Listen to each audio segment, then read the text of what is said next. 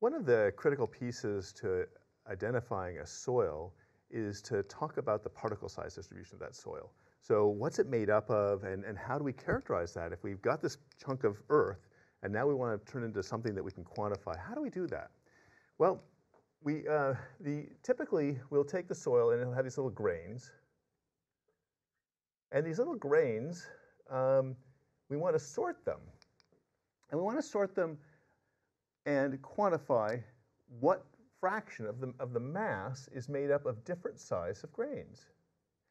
So the most natural thing perhaps to do is take our soil and crunch it up and put it through a set of sieves. And these sieves are specified by the opening that they have. And so then we will take a sieve that has large openings at the top and go successfully down to a sieve that has very small openings at the bottom.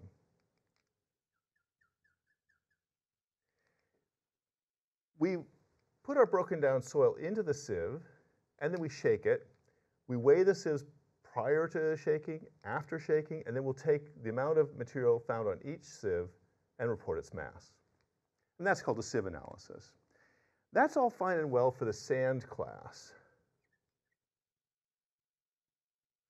Of particles, but anything finer than sand, and this goes down to 100 microns, anything smaller than sand, which would be a silt or clay, won't ever settle through the sieve.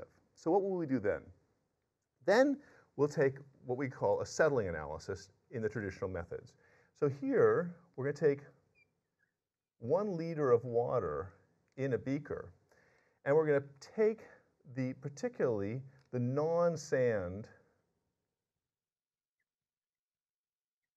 um, fractions. And so what happens here is that what, is the, what are the things that fell through the bottom of this sieve?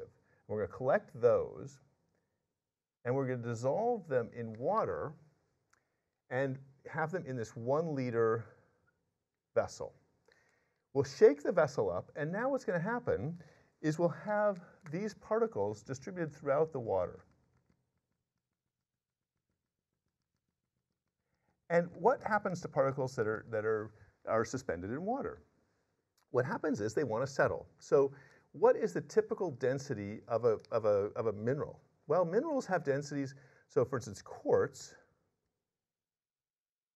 will have a density of 2.65 grams per centimeter cubed.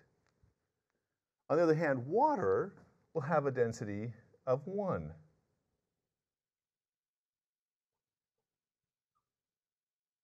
So we can see then that the, the quartz is denser than water, therefore it'll settle down through the water column.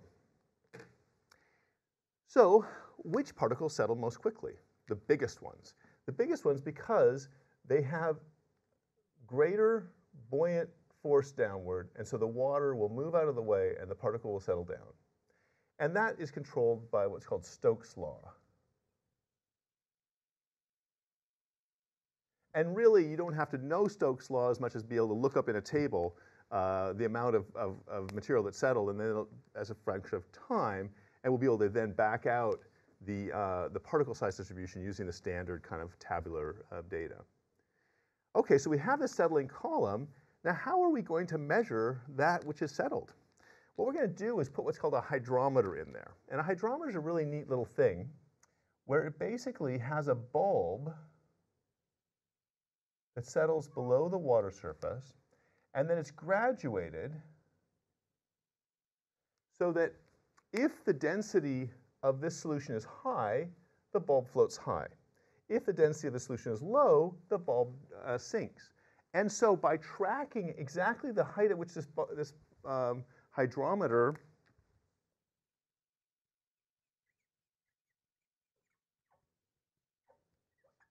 By tracking the exact height of the hydrometer in time, we can know the density.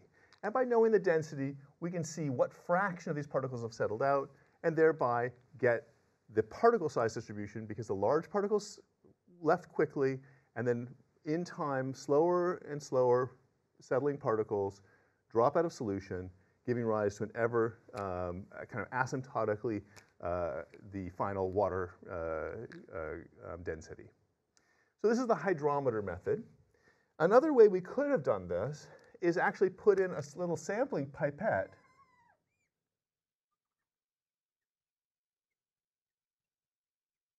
We could put a pipette in there and draw out samples in time and actually and then dry those samples and see what's, what is in the solution. Once again, assessing the density um, in time. So it's fundamentally the pipette method and the, and the hydrometer method are trying for the same outcome, that is to get the density of the solution in time and thereby get the particle size distribution. So now we have this particle size distribution. What do we do with it? What we're going to do is we're going to make a a plot that has percent mass small, uh, uh, smaller, and then we're going to have the, the size here. So what we're going to do is say, okay, we at for the very smallest size, this is going to be the smallest particle. And this is going to be the largest. Okay, so what we know is that 0% of the sample will be smaller than the smallest one, and 100% of the sample will be smaller than the largest. So what you'll end up with is a curve that spans the smallest to largest size, and then at any given point, we can identify for this size, which let's say is 0.1 millimeters, that would be a typical size, we can say, aha, that 50% of the mass of our, of our sample was made up of particles smaller than that size. And we will then call that the D50. And D50 then says it's the diameter of the particle for which half of the mass is smaller. So this is how we take a, a, a soil break it down, identify the different constituents in it, and then plot them up in a particle size density plot and identify things like the D50. Another thing that people might identify would be the D10 or the D60. And why would they do those? Because the uniformity index is defined as the D60 divided by the D10. So when we have a very uniform soil, this will be on the order of 2, and for a very non-uniform soil, that'll be as high as 10.